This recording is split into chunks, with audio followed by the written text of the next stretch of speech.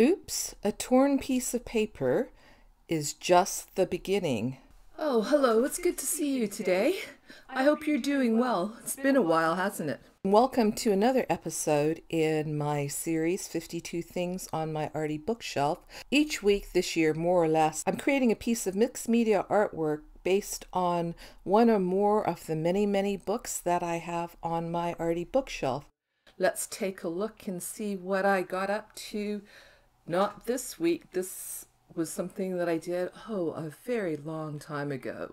I started out with this children's board book called Beautiful Oops, and it encapsulates my art process so very beautifully.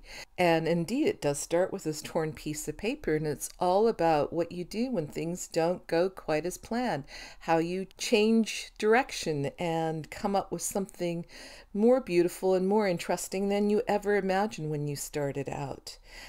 And I'm taking inspiration this week from two of the ideas in this book. We'll start out with the torn piece of paper. And I have this piece of torn paper that's left over from a workshop that I did when I was over on Gabriola Island earlier this year. I'm still thinking about Japanese design after the previous week. And I'm going to use this piece of pink foil to mend my tear. There's a Japanese way of using gold to mend broken pottery and allowing the cracks to show. And that's the spirit that I'm capturing here by using this pink foil. And I know you're wondering that that's a big piece of paper. There was a lot of untorn parts, but if I'd used those untorn parts, I would not have a story to tell you today. And I think that this is a perfectly good way to use up the torn part rather than it being garbage and throwing it away. And also, I'm thinking I want to use the other parts of that paper for something else.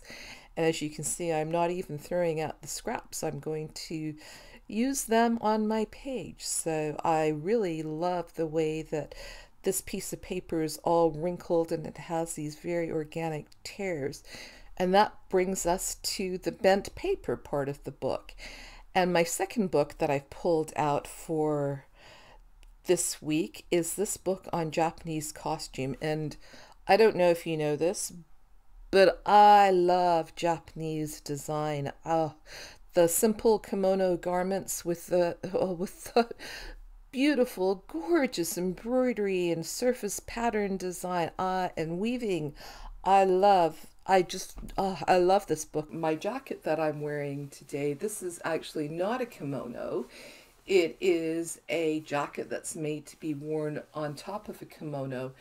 And it is silk. It's tie-dyed silk. And all of these designs here are done by hand. They're all individually tie-dyed, even these little teeny tiny little shapes here. I could look at this book forever. I really, really love this book. So as you can see, it just goes on and on and on with just one more beautiful design after another. So I've taken out some of my hand printed papers here and I'm really deciding which one I want to use for this next part and I'm really looking for something that's a good contrast with the pink there and I think this dark blue green piece is going to work really well for what I have in mind and this is all going to be about bending paper. Now I had considered using a book about origami paper folding as my second book, but it turns out that I don't have one.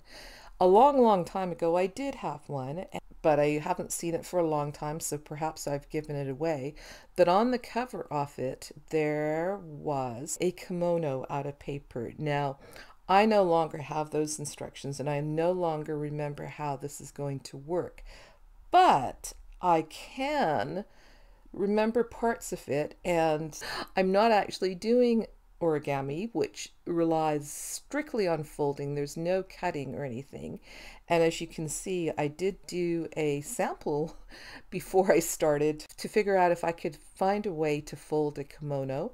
And this is what I've come up with, starting with this long piece of paper and folding it down and then cutting the bottom part off to make that into the into the sleeves, those long pendulous sleeves that a Japanese garment has.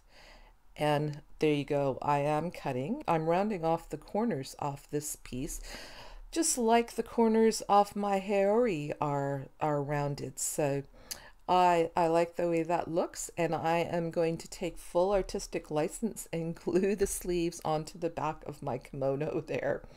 But I think that looks pretty good.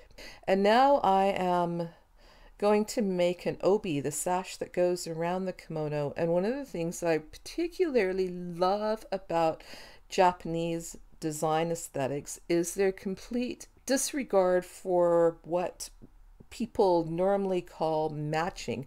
They mix colors and patterns and design elements without without any regard to matching. So I found something that I think almost clashes with the blue and the green, this bright sort of mauvey pinky mauvey color and I'm going to use that for my obi and I'm gluing it down on my page and I love this. To me, this encapsulates everything that I love about the Japanese design. The contrast between the organic, grungy pink background with the very precisely, crisply folded kimono on top. I'm thoroughly pleased with this page, I have to say. Anyway, thanks a lot for watching. It's great to have you here, and I will see you again soon. Bye for now.